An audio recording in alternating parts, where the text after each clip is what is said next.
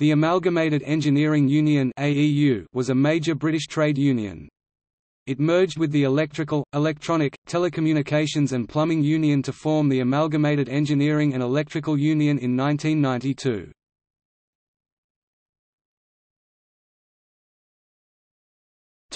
History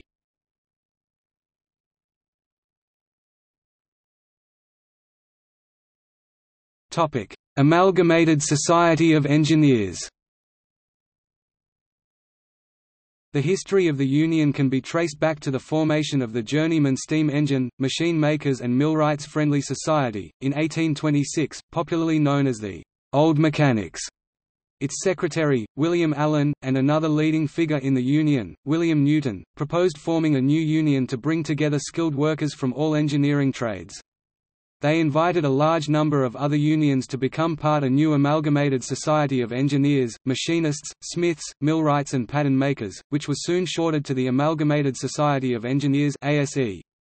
Other than the old mechanics, the only notable union to join was the Smiths Benevolent, Sick and Burial Society. Together with various small, local unions, they brought 5,000 members into the ASE on its creation in 1851, Allan becoming its first general secretary. The ASE was one of the new model unions of the 1850s to 1870s.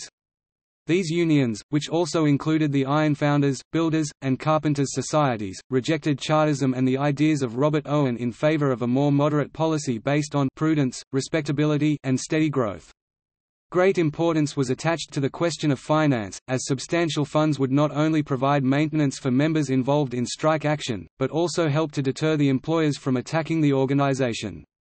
Since its members were skilled and relatively highly paid, it was possible for the ASE to charge contributions of one shilling a week and to build up a fund of unprecedented proportions.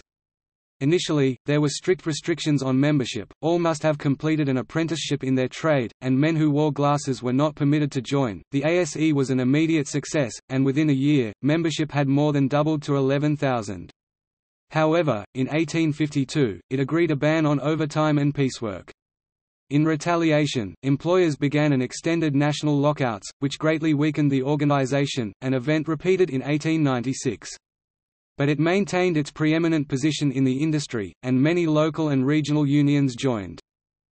The union was invited to join the Federation of Engineering and Shipbuilding Trades when it was formed in 1891, but refused to do so.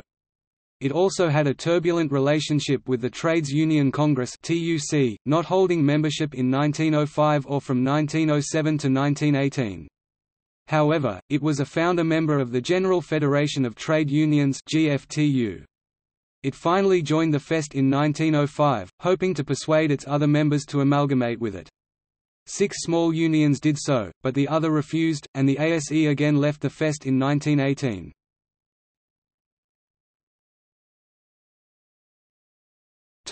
Amalgamated Engineering Union In 1920, the ASE put out a fresh call for other unions to merge with it in a renamed Amalgamated Engineering Union AEU. Seventeen unions balloted their members on a possible merger, and nine voted in favor of amalgamation. Amalgamated Association of Brass Turners, Fitters, Finishers and Coppersmiths Amalgamated Instrument Makers Society Amalgamated Society of General Tool Makers, Engineers and Machinists East of Scotland Brass Founders Society. London United Metal Turners, Fitters and Finishers Society. North of England Brass Turners, Fitters and Finishers Society. Steam Engine Makers Society. United Kingdom Society of Amalgamated Smiths and Strikers United Machine Workers Association The resulting union had a membership of 450,000, about 300,000 coming from the ASE. The ASE had set up overseas branches in the United States, Canada, Australia, New Zealand and South Africa. In 1891, they had only 5,000 members between them, but by 1920 they had grown to 32,000 members. The Union set up an Australasian Council, and in 1906 a South African Council, and the branches in those countries thereafter had a considerable degree of autonomy. They had their own full-time secretaries and organizers, and became the leading unions for engineers in those countries. However, in North America, the Union failed to grow.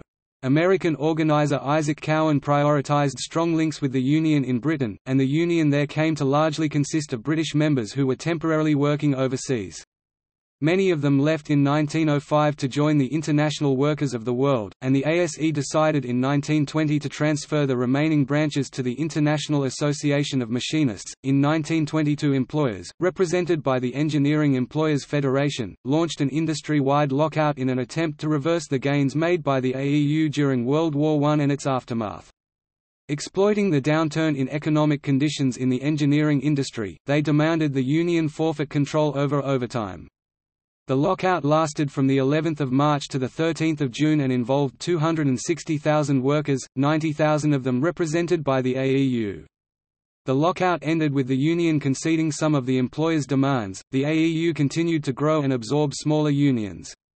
From 1926, it accepted members who had not completed an apprenticeship. In 1933, it had 168,000 members, and 390,900 by the end of the decade. Its largest membership growth came during the Second World War when its all-male membership voted to admit women for the first time and 100,000 joined almost immediately, membership reaching 825,000 by 1943. However, the AEU also lost its overseas branches in Australia, New Zealand and South Africa, which became independent unions.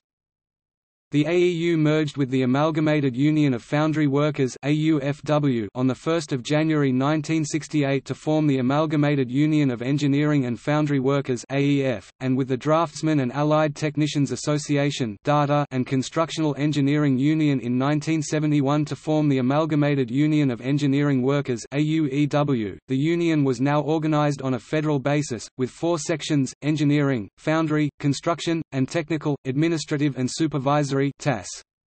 This approach was not a success, as the various sections fell into dispute with each other. In 1984, the engineering, foundry and construction sections were merged and in 1986 adopted the name Amalgamated Engineering Union once more, while the TAS remained separate and, in 1988, it became entirely independent of the union once more.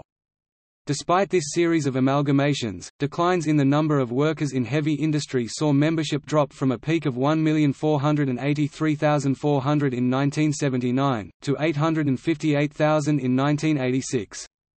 The AEU became a mainstay of the moderate right in the trade union movement through the 1980s and 1990s, leading the manufacturing unions in 1989 to 1991 in a successful push for a shorter working week, but failing to merge with a number of unions, notably the Building Workers Union UCATT. In 1992 the AEU finally achieved a merger with the Electrical, Electronic, Telecommunications and Plumbing Union, EETPU, after a hundred years of off-and-on discussions. The new union took the name Amalgamated Engineering and Electrical Union.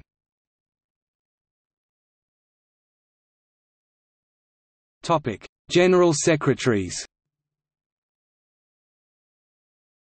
ASE 1851, William Allan 1875, John Burnett 1886, Robert Austin 1891, John Anderson 1896, George Nicol Barnes.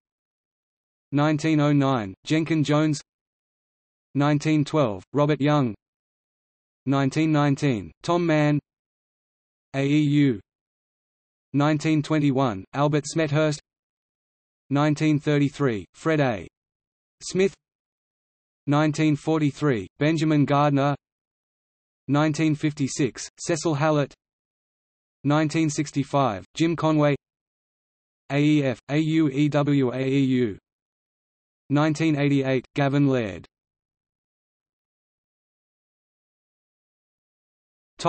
Chairman. 1893, Alfred Sellicks 1903, David Gardner. 1910, Albert Taylor. 1913, James Thomas Brownlie Topic: Presidents. 1920, James Thomas Brownlie. 1931, William Harold Hutchinson.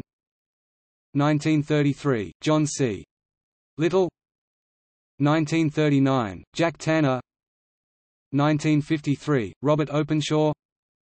1956, William Carron. 1968, Hugh Scanlon 1978, Terry Duffy. 1986, Bill Jordan